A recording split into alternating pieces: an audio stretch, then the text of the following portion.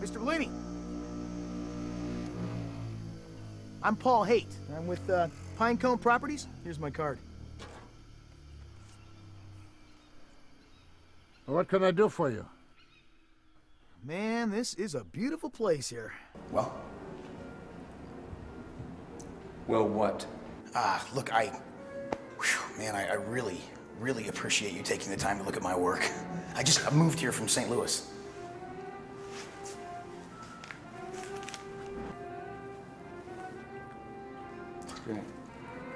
I'm Idleman, Sam Idleman.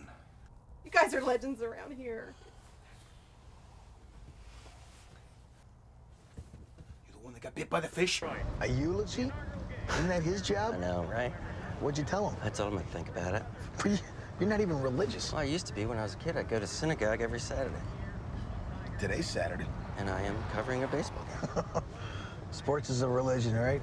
The good Lord wanted me to hit that curveball over the wall. Yeah, yeah. But the Jimmer was a different story. Jimmer Nagamani from Menominee seen the same Hoover and Light a few years ago, except he was abducted, disappeared for a whole weekend. It's the truth, because when they brought him back the following Monday, there was a few changes in the Jimmer that were hard to ignore. One was he talked different.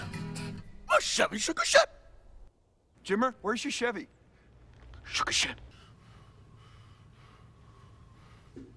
What's he looking for?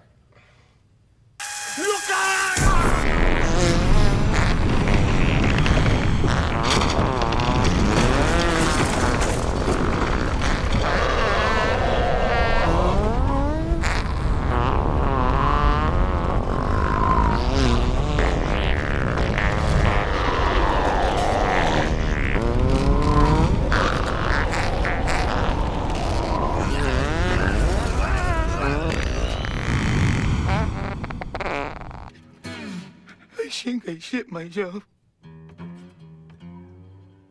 Remnar, get the Jimmer a towel.